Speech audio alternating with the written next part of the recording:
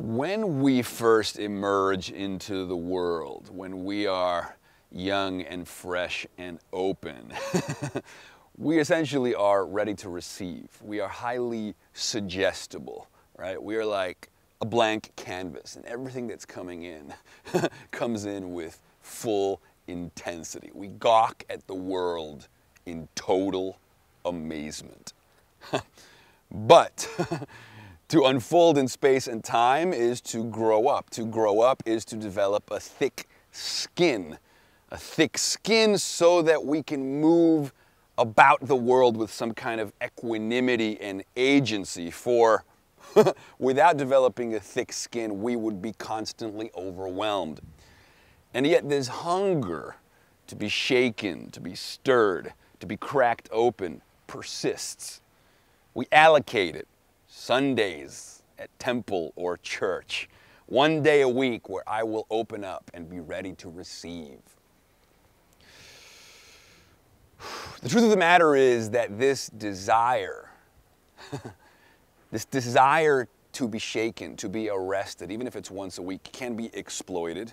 Organized religion has taken advantage of our receptivity to metaphysical experience to manipulate us into doing terrible things, in many cases throughout history.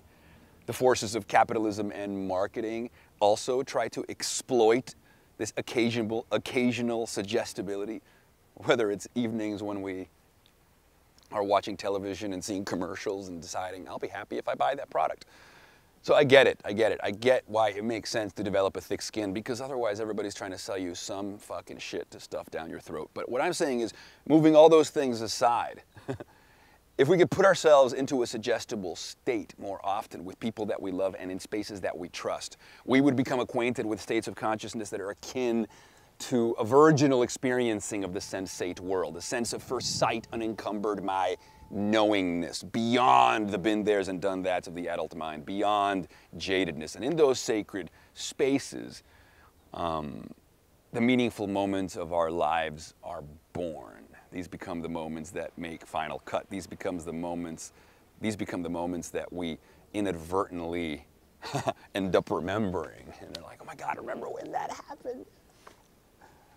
Um, that moment when I shed my thick skin and we were splashing in the water, laughing uncontrollably.